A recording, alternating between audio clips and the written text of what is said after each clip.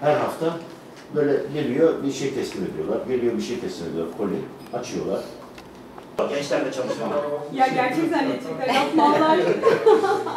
Bu dönemde Osman Gazi Kent Konseyi Başkanlığı'nı yürütmeye çalışıyoruz. Osman Gazi Muhtarlar Dernek e, Başkan Yardımcısıyım. Ve e, Kent Konseyi'nde de e, yönetimde beraber Rıdvan Başkanımız ve değerli ekip arkadaşlarımızla gönüllere dokunmaya çalışıyoruz diyeyim. Kira artışları gerçekleşti.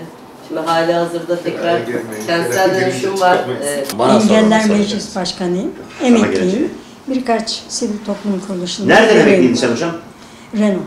Ee, Nasıl gösterebiliyorlar? Bu kadar sevgisi var. Yani e, o Engeller Meclisi'nde e, o kadar seviyorlar ki ve hiçbir faaliyeti aksatmıyorlar. Sonra da okulları sizin de dediğiniz gibi e, eksikleri ne yapabiliriz, nasıl katkı sunabiliriz? Belediyemiz zaten fazlasıyla yapıyor.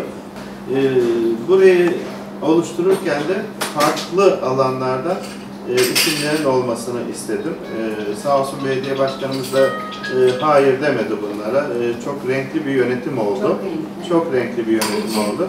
Aykırı derneklerden isimler aldım. E, yani ismi e, çok ön plana çıkmamış. Çünkü Osman Gazi'miz var. Burada büyük bir ilçemiz var. Yani gerçekten Osman Gazi diğer ilçeler gibi değil. Gerçekten arada sıkışmış ama en önemli ilçemiz. Tarihiyle, turizmiyle, e, sağlık turizmiyle, doğasıyla, e, her şeyiyle ön plana çıkması gereken e, bir ilçe.